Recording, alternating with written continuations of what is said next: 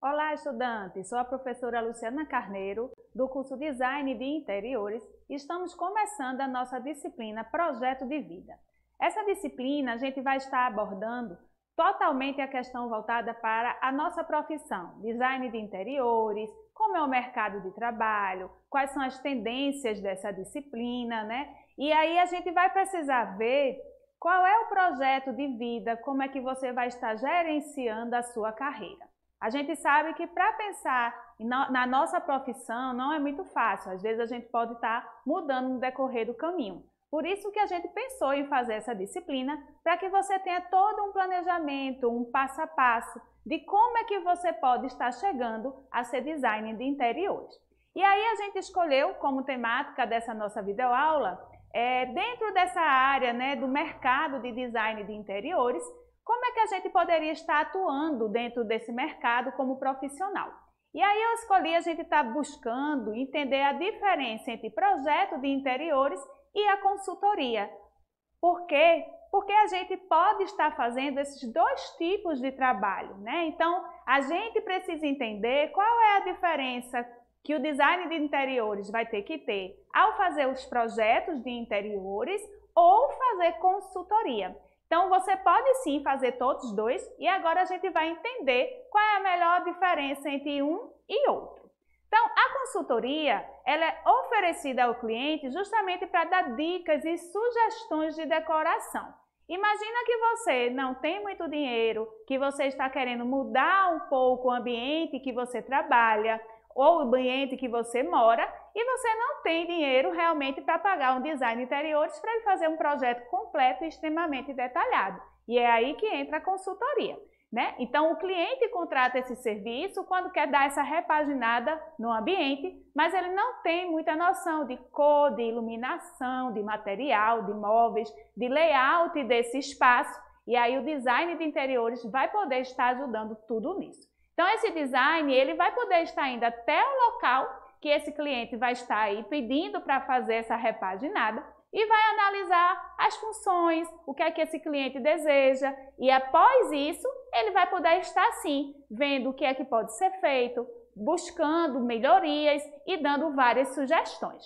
Então, ao contrário do projeto de interiores, a consultoria é um serviço mais simples, menos detalhado e dessa forma se torna assim mais barato, tá? Então isso pode ajudar uma grande quantidade de clientes que não tem às vezes condições de pagar por projeto, porque a gente sabe que arquiteto, design de interiores, quando faz um projeto né, extremamente detalhado, com todas as informações, ele torna aí um pouco mais caro. Então, a gente pode estar sim, como design de interiores, você terminando o seu curso, fazer essas consultorias. E aí, quais são os itens que seriam sugeridos para você estar fazendo a consultoria? Primeiro, você pode estar ajudando o cliente a ver tipos de pisos e revestimentos para parede, para teto. Né? Você não vai desenhar esses pisos, mas você vai estar lá indicando. Né? Você vai numa loja com ele e vai indicar esses tipos de materiais, cores das paredes, porque às vezes o nosso cliente não sabe nada de cor. E a gente entende que cor existe aí uma sensação que ela vai passar para o espaço. E a gente pode estar dando essas dicas. Outra questão são as luminárias.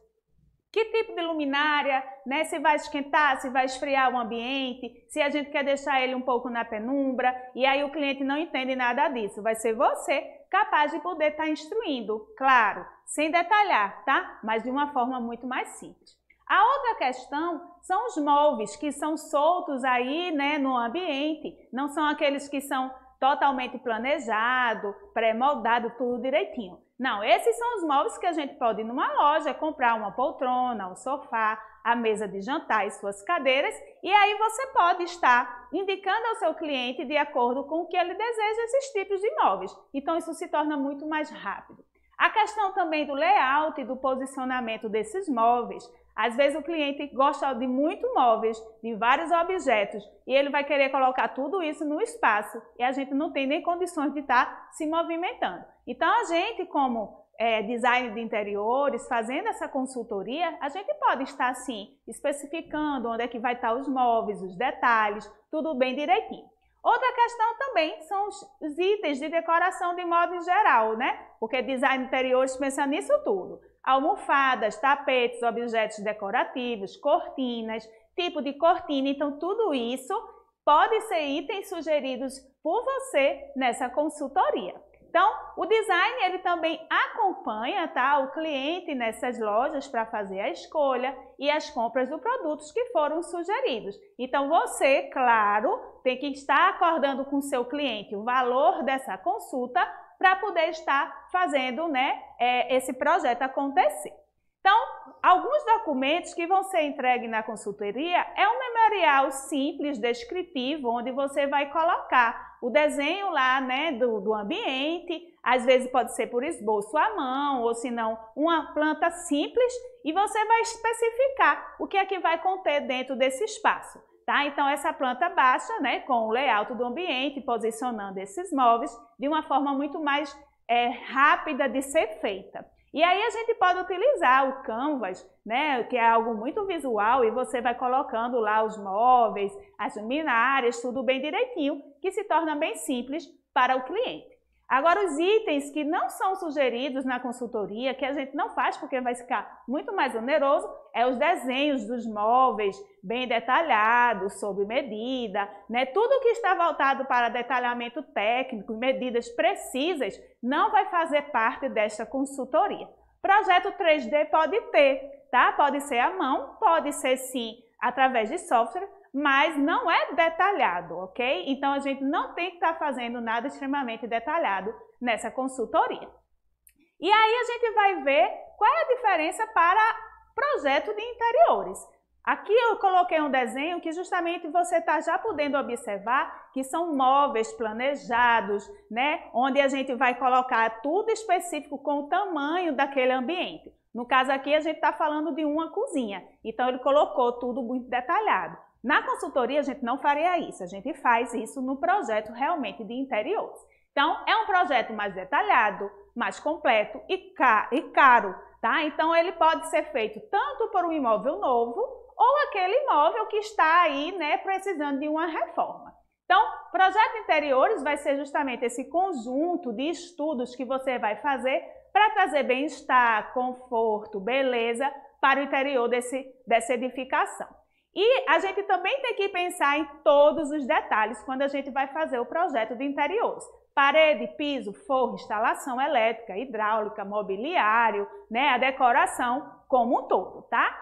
Projeto, ele é feito em etapas, ok? A gente primeiro vai fazer o briefing, que é justamente essa pergunta ao nosso cliente, entender o que ele quer, todo o seu desejo, funcionalidade, seu tamanho, por conta da questão da ergonomia, se tem mais moradores ou não. Então, a gente vai estar tá tendo toda essa entrevista através desse briefing, para que a gente, dentro do projeto de interiores, a gente passe pelas etapas de estudo preliminar, do esboço, do anteprojeto, do projeto executivo, que é extremamente detalhado. Outra coisa importante é o acompanhamento na execução dessa obra, tá? Isso também pode ser realizado. Agora você tem que abordar isso ao seu cliente. Se ele quiser, claro, você tem que cobrar essa visita.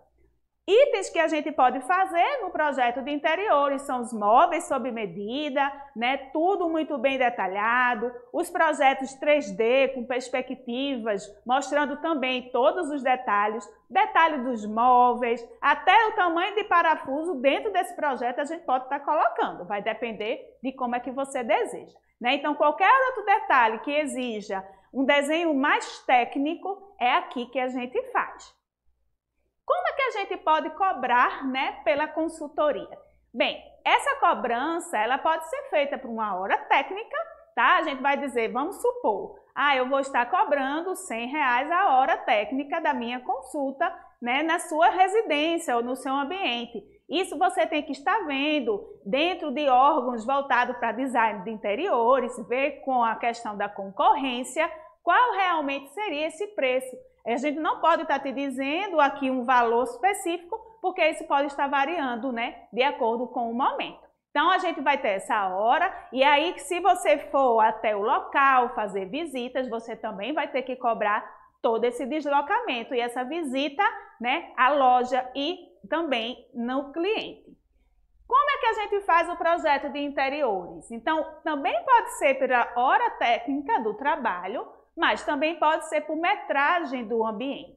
Uma coisa muito importante para levar em consideração é a gente entender o tamanho deste projeto. Ah, você vai fazer o projeto só de um banheiro. Ok, mas qual é a questão do detalhamento desse banheiro? O que esse cliente vai fazer? Então, você vai poder estar cobrando. Tem gente que cobra 60 reais a hora, a, a, a hora, né? Tem gente que cobra através aí da questão do metro quadrado. Então, a cada 100 metros quadrados, eu vou cobrar tantos reais.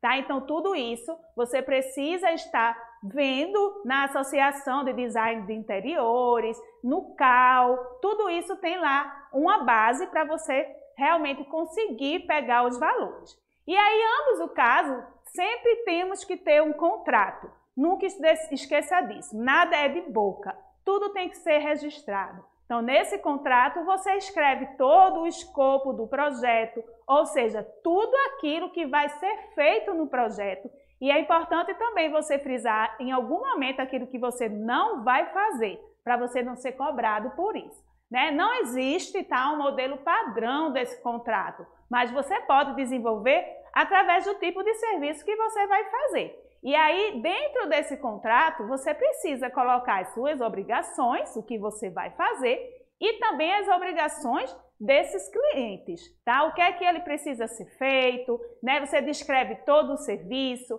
vai mostrar os prazos de entrega, os valores, condições de pagamento. Então, tudo tem que ser muito bem discriminado.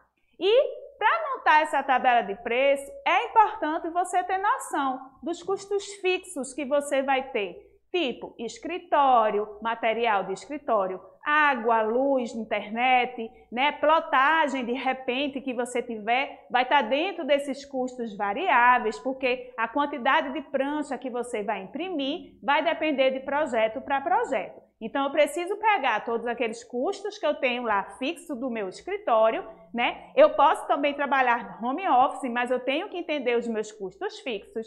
Eu tenho que pensar na questão de gasolina, de transporte, tudo tenho que colocar no papel. Tenho que ver também a questão do meu prolabore, ou seja, quando a gente é empreendedor, eu não tenho salário, eu tenho o meu prolabore. E você precisa colocar no valor dessa hora ou da metragem do seu serviço o seu salário, tá? As horas trabalhadas vocês têm que estar pensando quanto vai cobrar, né? Se vai ter visita externa ou não, o acompanhamento da obra. Então, todo o que você precisa para montar a sua hora, o, seu, o valor do seu serviço, você tem que fazer um orçamento extremamente detalhado. E nunca esqueça de fazer o seu contrato. Então, espero que vocês tenham entendido né, a dinâmica dessa diferença de consultoria para projeto de interiores, que está muito em moda no nosso mercado. Então, obrigada e até a nossa próxima videoaula.